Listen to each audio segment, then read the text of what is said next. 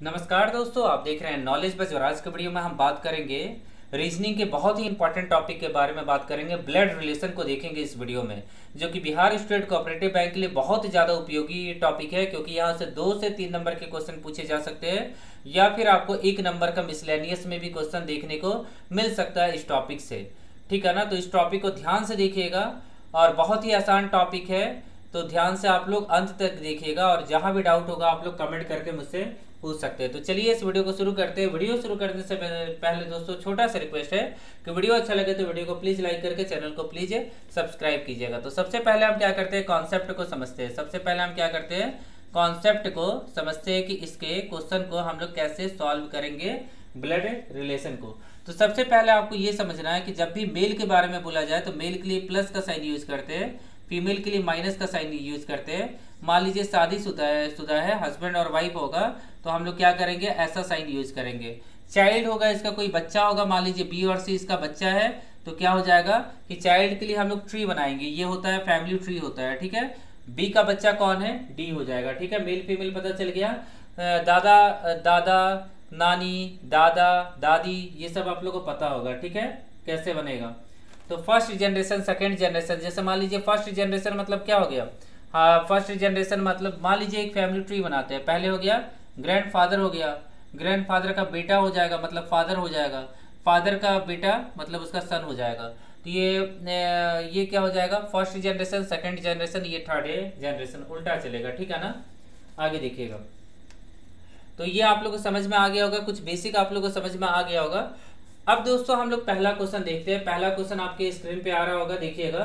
All the given member belong to same family सभी जो member है ना यहाँ पे, एक ही फैमिली से बिलोंग करते हैं। J is the brother of L तो सबसे पहले बनाइएगा J is the brother of L ठीक है? हम लोग यहाँ से बनाते हैं। जे जो है एल का भाई है। जे किसका भाई है? एल का भाई है। तो जे भाई है ना तो जे के लिए क्या कीजिए? प्लस का साइन कीजिए यूज़ ठीक है?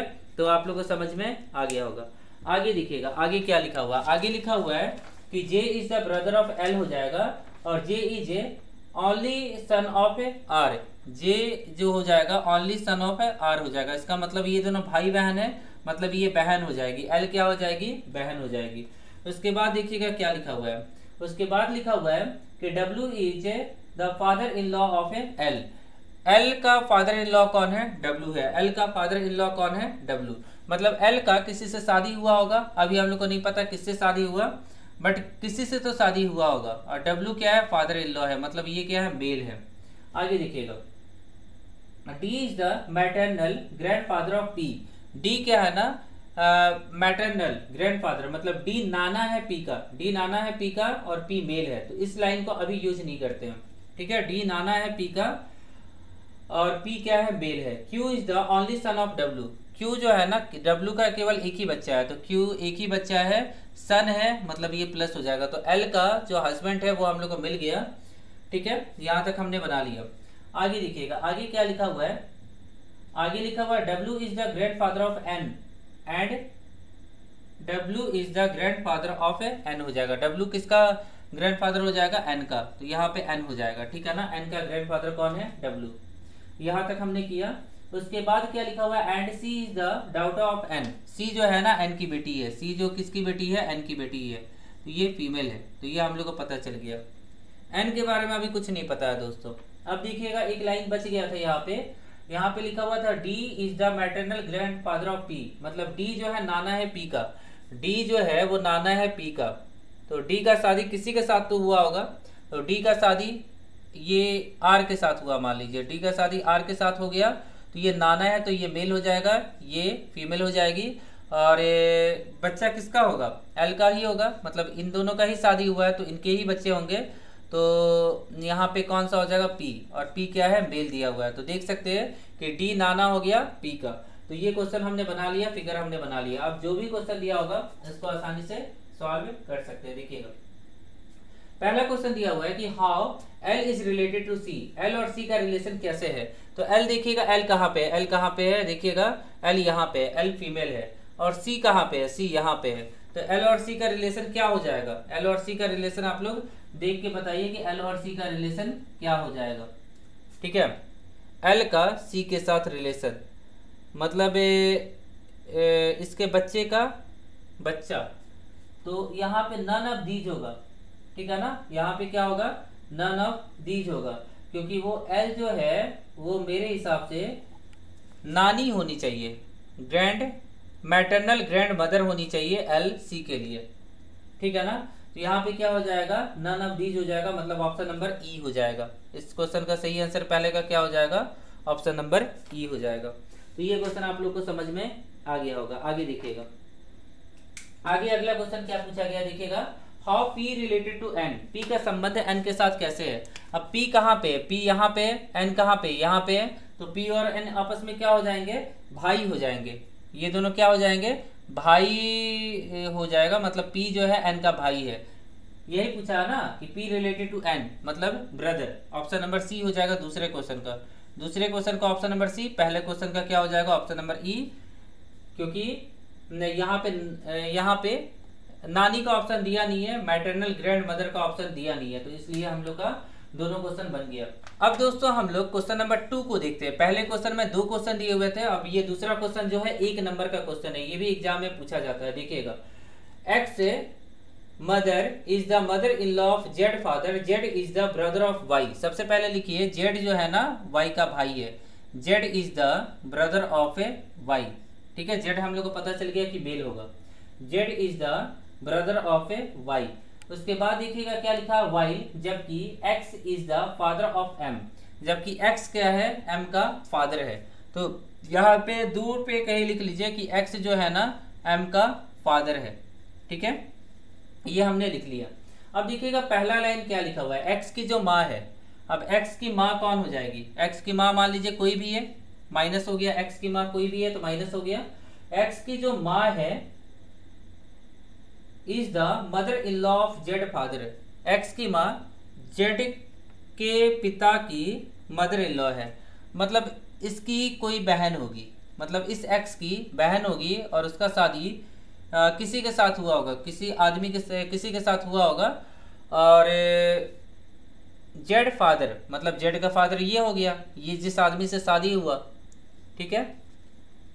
तो पहला वाला स्टेटमेंट कंप्लीट होता है कि एक्स की माँ एक्स की माँ मदर इन लॉ होगी जेड के फादर की मदर इन लॉ होगी जेड के फादर की। अब ये तो पता है कि मेल है। जब ये मेल होगा तो इसकी बहन का शादी किसी से हुआ होगा? तभी तो ये जेड का फादर प्लस है और उसकी सास ये है माइनस ठीक है तो ये क्वेश्चन थोड़ा सा अटपटा है। ध्यान से देखिए फिगर मैंने सही बना दिया है। अब देखिए क्वेश्चन क्या पूछा गया? क्वेश्चन पूछा गया कि how X related to Z मतलब एक्स और जेड का रिलेशन निकालना है तो एक्स कहाँ पे एक्स एक्स यहाँ पे एक्स कहाँ पे? यहाँ पे अब जेड के साथ क्या रिलेशन है? तो एक्स का जेड के साथ क्या रिलेशन है?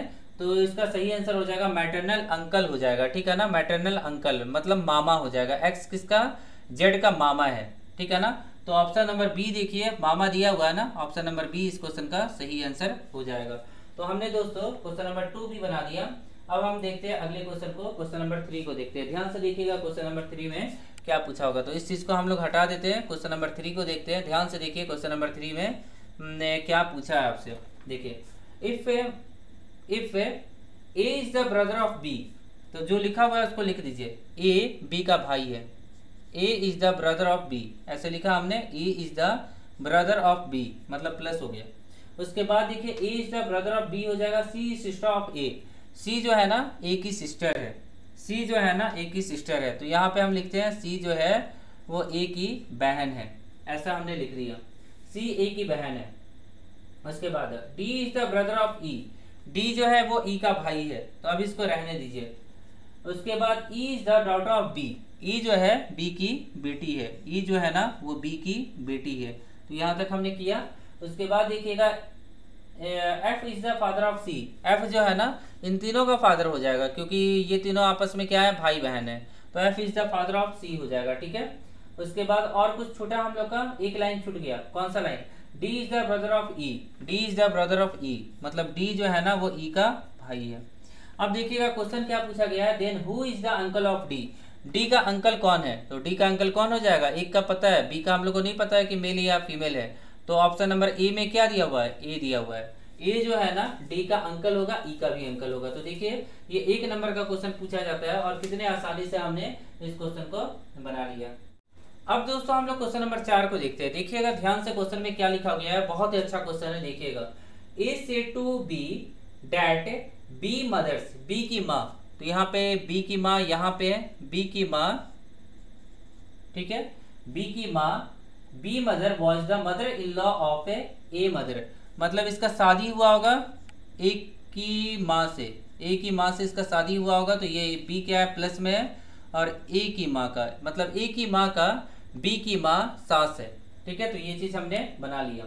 अब देखिएगा, पूछा गया कि how A mother was related to B mother A की माँ बी की माँ से कैसे संबंधित है? ए की माँ बी की माँ से कैसे संबंधित है, ये आपको बताना है। यहाँ पे क्या हो जाएगा? बहू हो जाएगा। ये जब ये सास है तो ये बहू होगा। मतलब ऑप्शन नंबर ए आपका सही आंसर होगा। तो देख सकते हैं कि क्वेश्चन दोस्तों बहुत घुमा के दिया गया है बट एक नंबर का क्वेश्चन है, बहुत जल्दी हमने बना लिया।